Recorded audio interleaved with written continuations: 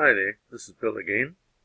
Um, just continuing on from my routine that created contour lines between two spot levels. The other other time is then when you, you've got two spot levels, these ones there, and you want to find the level that that particular point is at between those two spot levels, which is a Lisp routine, very simple one, and it picks a point, you pick another point, and pick the point inside there. That is, if you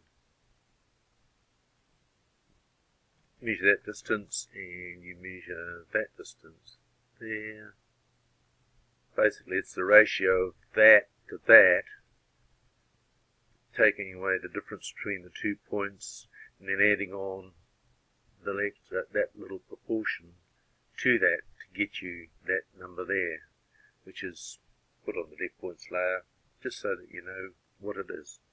Thanks for watching.